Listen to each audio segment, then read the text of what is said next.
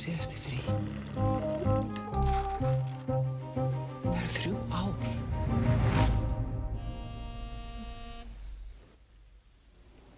Hæ? Þú veist að missa manniðin. Við hjá kaufleginu, við standuna hér. Ég lýr eins og hann hafi sveikið mig. Skiljum eftir ykkur í skuldasúpu með kaufélagið andandi og hann í hálsmál á mér. Skrifaði grein um daginn um spillinguna innan kaufélagsins. Einhverjir sem vilja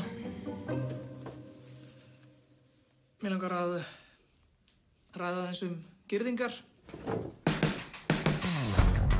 Það samfélag er sjúkt. Það er búið að loka reikningum. Rugglið.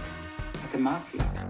Við ættum að leifa þær að fara á hausinn. Ef þú ætlar að búa hérna áfram, þá skal þú bara hugsa þinn ganglíkuna. Kæri félag. Við bændur tökum aftur völdin í okkar hendur. Hún var snarvillis.